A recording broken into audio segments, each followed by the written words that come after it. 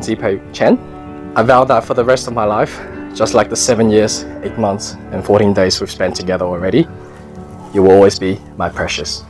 I can't promise to never make you angry because our friends know how annoying I can be. But I remember how beautiful you smiled when we were in the Disneyland. So I vow to always put that smile back on your face when you need it.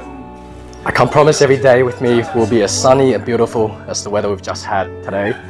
But I promise to be the Melbourne wind that'll blow away this cloud for you. The sun will always shine for you.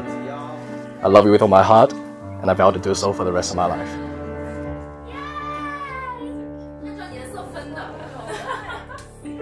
Hansen, we met in 2015, but it feels like we've met for a really long time.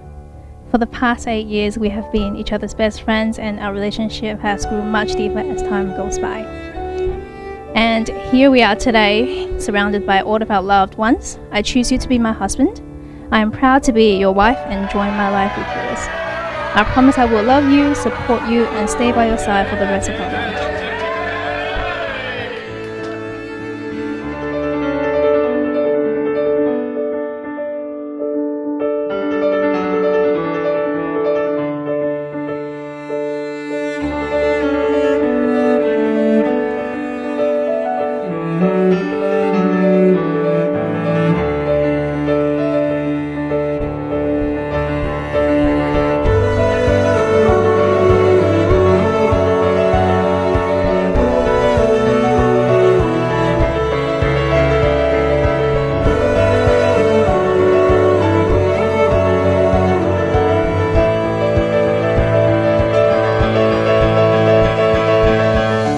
Zipei, with this ring, I marry you today.